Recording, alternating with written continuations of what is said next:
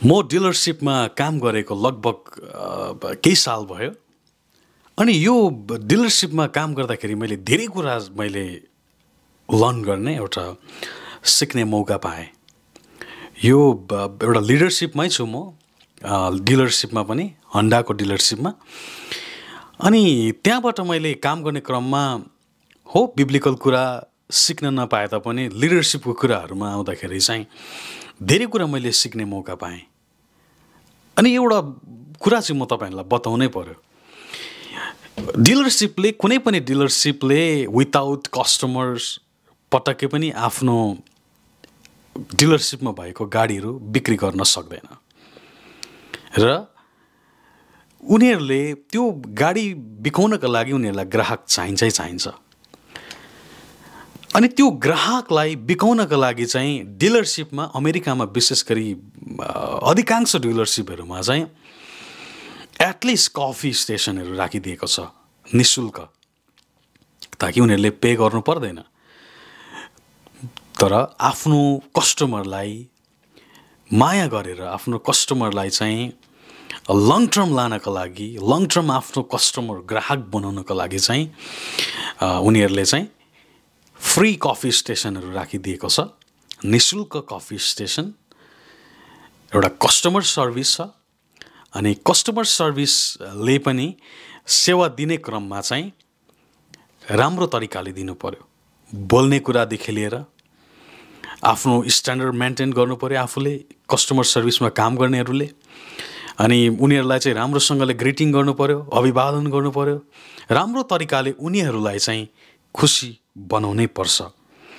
नत्र त भने त्यो ग्राहकले अर्को पालिदेखि गाडी किन्दैन अर्को पालिदेखि त्यहाँ गएर सर्भिस आफ्नो गाडीको गर्न सक्दैन।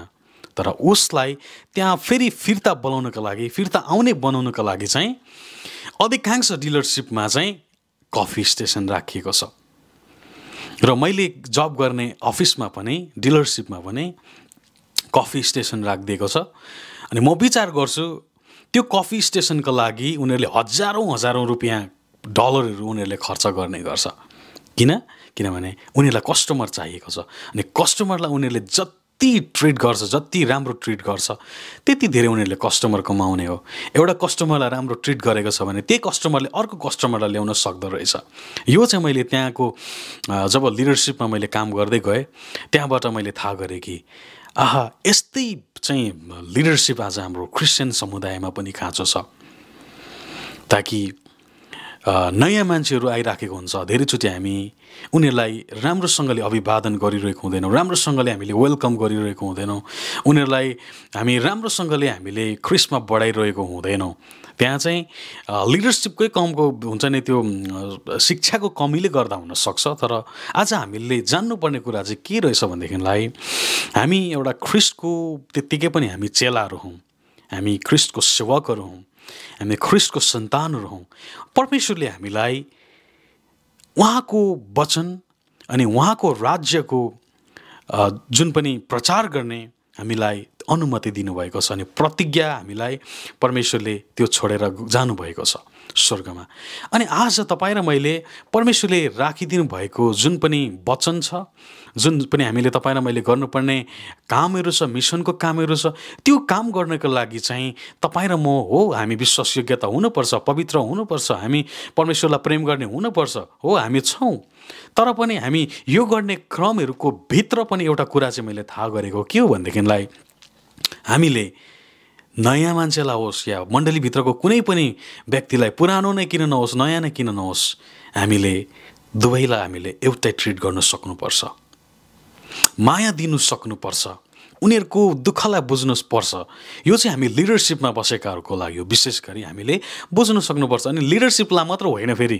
तपाईँहरू जतिजनाले वचन सुन्दै हुनुहुन्छ तपाईँलाई पनि त्यो अधिकार प्रभुले दिनुभएको छ। आफ्नो छिमेकीलाई आफैलाई चाहिँ प्रेम गर। तपाईँ र मैले पास्टरले गर्नु सकेको छैन भ्याएको छैन भने तपाईँ र मेरो पनि जिम्मेवारी हो।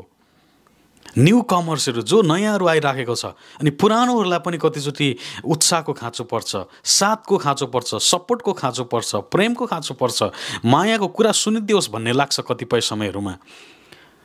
तर तपाईँ खुसी हुनुहुन्छ तपाईँ आनन्दित हुनुहुन्छ तपाईँसँग प्रशस्त छ भरिभराउ छ भने तपाईँको कार्य के हो भनेदेखिलाई तपाईँले पनि अब त्यो व्यक्तिलाई तपाईँले वास्ता गर्नुपर्छ।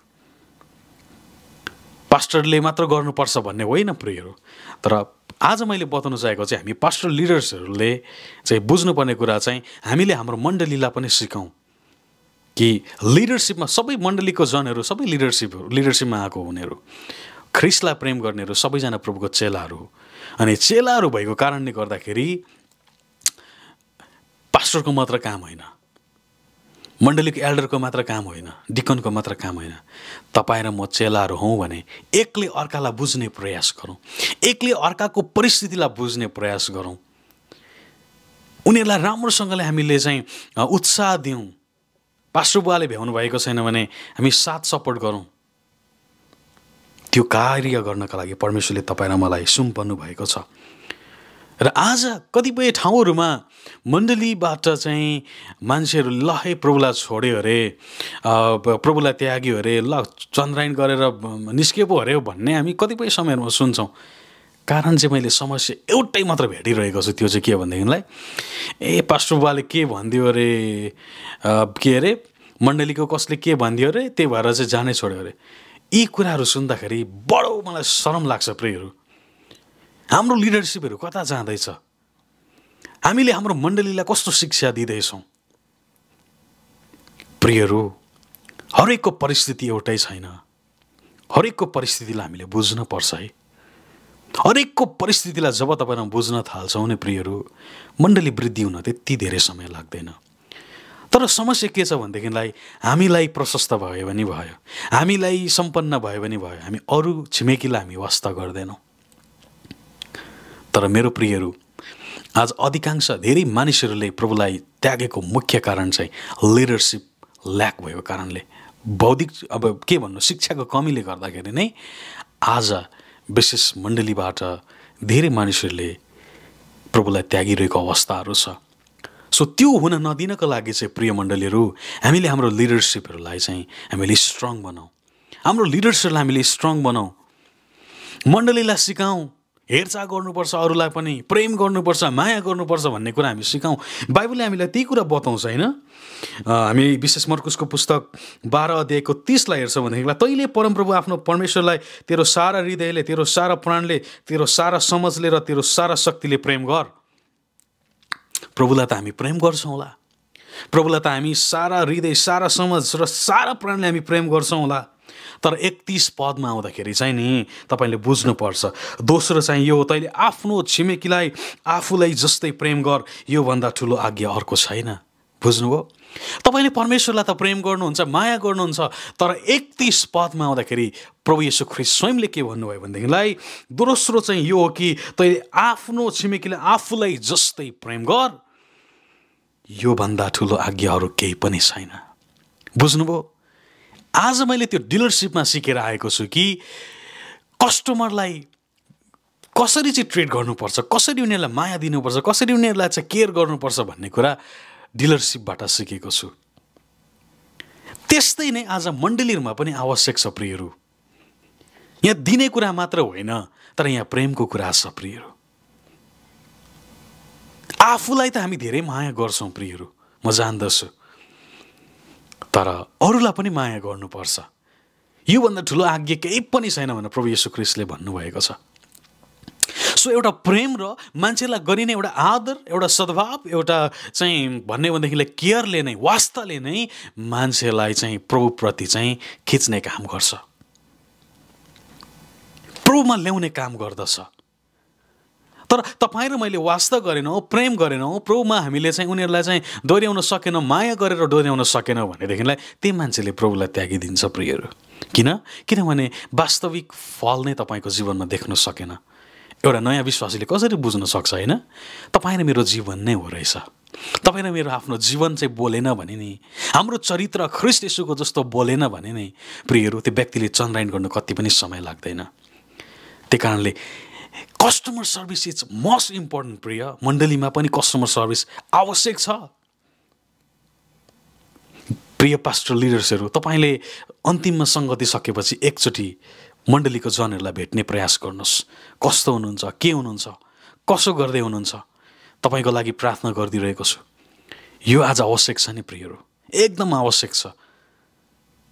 ल पास्टर बुवा तपाईँले भ्याउनु भएन अरे। तपाईँले कसैलाई हराउनुहोस् त्यो काम गर्न। आज हामीले मण्डलीलाई भेडालाई खुवाउने काम मात्र होइन तर उनीहरूको रेखदेख पनि गर्नुपर्छ वास्ता पनि गर्नुपर्छ। उनीहरू कुन परिस्थितिबाट भएर गइरहेको छ? प्रिय विश्वासीज्यूहरू तपाईँ हामीले पनि बुझ्नुपर्छ यो पास्टरको काम मात्र होइन। तपाईँ र मैले गर्नुपर्छ वास्ता गर्नुपर्छ। के गर्दैछ हाम्रो मण्डलीका छिमेकीले? हामीले वास्ता गर्नुपर्छ। यद्यपि हामीले वास्ता गर्न थाल्यो भने नि परमेश्वरको राज्य वृद्धि हुन त्यति धेरै समय लाग्दैन। तर हामीले नै गवाई बिगारिरहेको छौँ। हामीले नै ए छिमेकीलाई हामीले घृणा गरिरहेका छौँ। छिमेकीलाई हामीले चाहिँ दोस्याइरहेको छौँ। यसरी हुँदैन प्रियहरू। प्रेमको आवश्यक छ। कस्टमर सर्भिसको आवश्यक छ। वास्ताको आवश्यक छ। त्यही कारणले गर्दाखेरि आजदेखि मलाई विश्वास छ यहाँहरूले यो कुरालाई पक्कै पनि पालन गर्नुहुनेछ। सो हामी एक्लै अर्कालाई वास्ता गरौँ प्रेम गरौँ। हामीले जब छिमेकीलाई प्रेम गर्छौँ छिमेकी छि छेउको छिमेकी मात्र होइन प्रिय मण्डलीका मान्छे जोही पनि हुनसक्छ। सबैलाई बराबर माया गरौँ वास्ता गरौँ। परमेश्वर साँच्चै नै कुराहरूबाट प्रसन्न हुनुहुन्छ। एमेन हुन्छ मैले वचनलाई यहीँ राख्न चाहेँ। विश्वास छ यहाँले आजको वचनबाट केही कुरा सिक्नुभएको छ? र वचनमा वचनलाई मैले यहीँ राख्दै यहाँहरू बिचबाट ओझल हुन चाहन्छु। जय